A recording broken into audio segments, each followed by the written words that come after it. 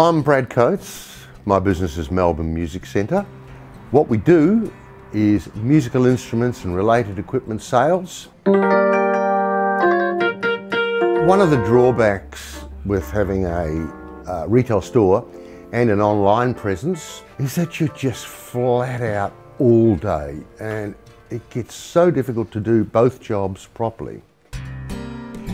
In the end, we'd realised we just had to find somebody that could do this for us. We could no longer cope. I was here till 10 o'clock at night, every night, uh, doing internet stuff. Really, constant clicks. There was a very real human feel and a friendly feel. We just, these are real people.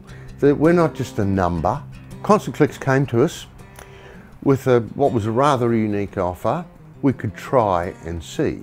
So we put it in place for a three month period, uh, looking after basic SEO and, and AdWords. What we saw was in two months, we saw an increase of 200%. After three months, we were seeing a 300% increase to our website, particularly noticeable in conversions. Yes, there was a lot more traffic, but more importantly, that traffic was converting to sales.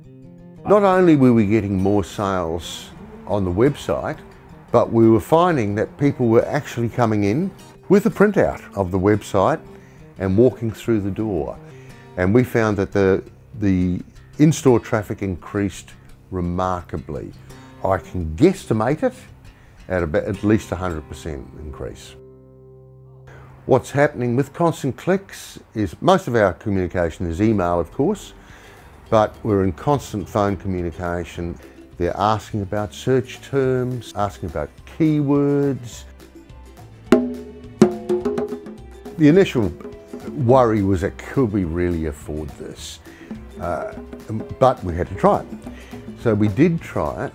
Not only can we afford it, as it turns out, because of the increase in business, but it's actually more than paying for itself. And we're tripling our online sales. I have a lot of faith that it's been shown that they can do what they say they do. In the beginning, I really didn't know whether we could afford this. We started with this. Now, we can't afford not to have it. Thank you, Constant Clicks.